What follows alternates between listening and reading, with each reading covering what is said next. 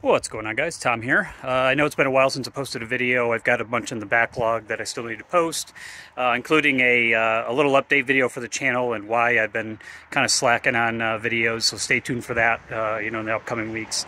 Uh, but in the meantime, obviously this is not my truck behind me.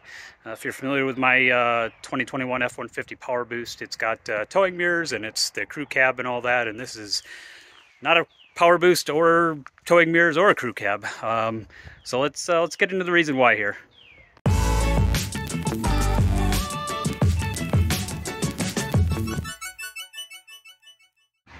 So I just got back from the dealer and um, I just, uh, the only reason I went there was for an oil change and a tire rotation. Uh, I got like three free ones, you know, with the purchase of the truck. I think two were from the dealer itself, and then um, I got one from Ford or something like that. I can't remember how that works. But, anyways, uh, oil change, tire rotation was taking a long time. Couldn't figure out why because uh, they had pulled the truck in a while ago and they said I was next. So, um, you know, usually these things don't take too long. Uh, but long story short, uh, the uh, they come to me and they say uh, that there's a problem with the truck, and they, they called it the term they used was grounded. Uh, basically, the uh, it, they claimed it wasn't safe to drive. Um, so what they showed me, and I'm gonna, uh, I'll keep my audio going here, but I'm gonna put a picture up here of what, what the part is. It's basically the axle bolt in the rear is completely sheared off. When they took the wheels off to uh, to do the tire rotation. The that nut or sorry, the bolt you see with the washer uh, was just loose in there, and it just fell right out on the ground. Uh, and that's what you know ties in that lateral motion of the axle, from what I read. It also sounds like this is a pretty common problem um, not just on the Power Boost, but anybody that got the max towing package, I think with like the 3.75 uh, ratio. I, I, could be wrong on those numbers, just, you know, don't, don't quote me on that, but that, that's what I was reading about.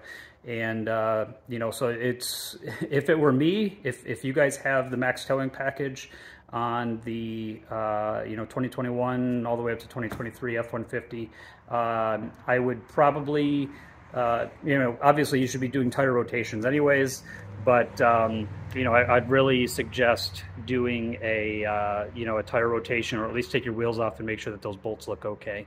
And I'll show you. I won't be able to show you on this this loaner uh, exactly where it is because I got to take the wheels off to do that. But um, you know, I'll, I'll, pop under the truck here real quick and and show you uh, you know where you can find it. So when I first kind of hopped under the truck, I wasn't sure which uh, bolts she was talking about uh, at the dealer because you see these these kind of um, there's one, two, and then there's a third one on the other side. Um, it's not those. It's actually, if we come around the side here, uh, once you take your wheel off, right in the center here is going to be your axle spindle and um, there will be a, a, bolt that goes right in, in there um, and that's to i believe is to prevent lateral motion of the uh, you know of the axle um, I safety wise, I, I would, you know, I personally would not have driven the vehicle home uh, with that with that bolt, you know, in the middle here sheared off. Um, which so I kind of, you know, completely agree with their, um, you know, their assessment that it wasn't safe to drive. I hope it doesn't take more than a few weeks because we've got a camping trip coming up here in a couple weeks, so it's going to be uh, it's going to be tight, unfortunately.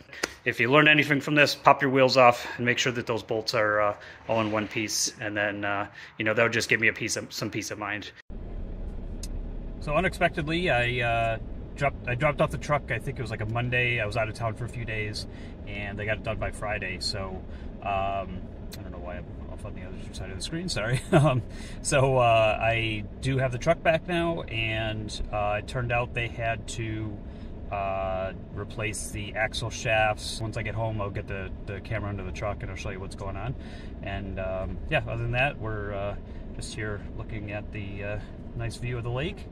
And uh, so this is uh, Canandaigua Lake and the Finger Lakes.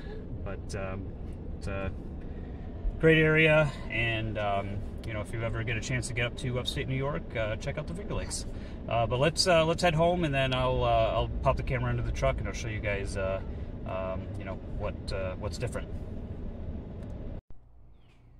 All right, so we're back home. I just wanted to pop under the truck just to see if anything else was replaced because I, I thought I saw like the rear differential cover had been replaced. Um, but it looks like it's still the existing one. Maybe they just cleaned it up a little bit because uh, they did have to take that apart and then. Um, oh, sorry, I don't know why the camera's not facing upward there. Um, so yeah, it's it's. I believe it's just the the shafts inside here, so you won't really see anything new uh, from the outside. But they did uh, confirm that they did have to replace the axle shaft on both sides. Um, it's interesting because up here, I don't know if you guys can see that. There's an adapter right there on the right side, some kind of electrical connection that's not connected to anything. And then there's that other piece up top uh, that looks like it's supposed to hold a hose or something, and that's not connected to anything. Um, so it's kind of strange. Let's see. I don't see anything else really missing. Oh, it looks like... Okay, so that looks like it goes... I just popped that in there, so that's that's really just to hold that. I, like I said, I don't really know what... Oh, that's like popping out. This is kind of unfortunate. Don't really get this all put together very nicely. Not sure how that pops on there normally though. So it looks like they've got, there's that little piece. I wonder if that locks into the little groove right there. I'll see if I can get that back on there.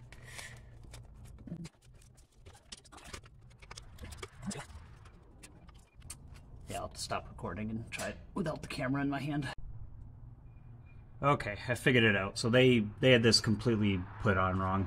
Um, so you have to take, there's two brackets here. Uh, I don't know if you can see my finger here, but you've got this one on the end here. And then this one over here. I had to take both of these off. This one slides from the end, so it slides on the end of this bracket, this metal bracket here. And then once that's on, then you can pop this one on. It kind of hangs off the edge here, and that's that's on on purpose. There's a little circle here that the clip locks into. So now it's all actually locked in there and and the way it's supposed to be. So um, so yeah, I'm glad I uh, glad I popped under here to see uh, how they had put it back together. I mean, there's other like places that I'm seeing that you know have clips with nothing on them. So I'm gonna do a kind of go go through this with a fine tooth comb and see if there's anything else they missed. Um, you know, putting this back together.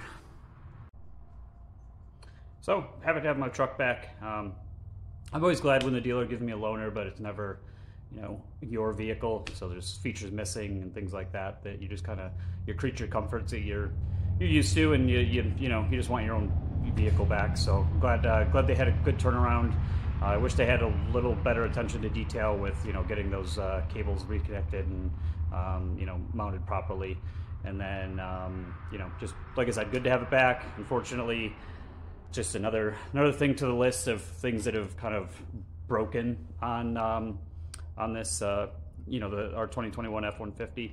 Uh, you know, first model year, so these things do happen. But uh, I think what I'll do is I'm gonna make a summary video. Um, you know, now that we've had it for, uh, I guess a, this will be our second camping season.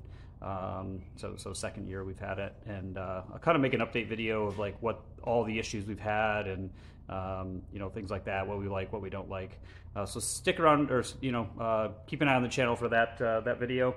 Uh, other than that, just uh, you know, hopefully you guys like this video. If you did, please like and subscribe to the channel, and have a good one. We'll see you in the next one.